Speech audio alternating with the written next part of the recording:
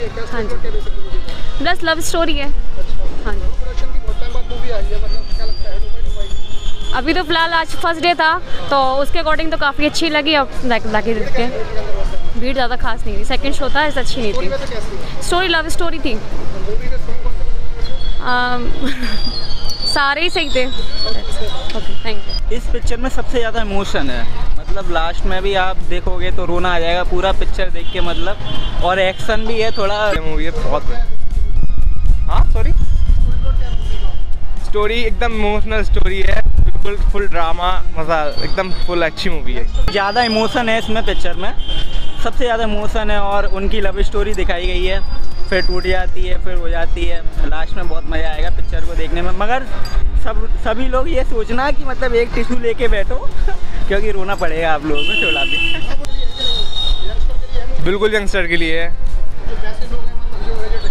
है उनके लिए भी है एक्चुअली फैमिली को समझने के लिए प्रॉपर मूवी है ये। अपनी फैमिली को समझ सकते हैं। जी? हम मैसेज यही है कि सर अपनी हैं कि एक रिश्ते को संभालने के लिए क्या किया जा सकता है? या मतलब दो लोगों के बीच में कितना कंसेंसस होना चाहिए रिलेटेड टू द रिलेशन वो काफ़ी चीज़ें अच्छी बताई हैं and this movie is too long lasting और ये काफ़ी अच्छी चलेगी। चलेगी? अच्छी अच्छी मूवी है।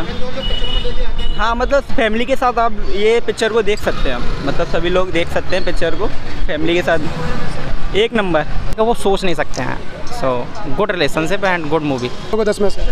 Obviously nine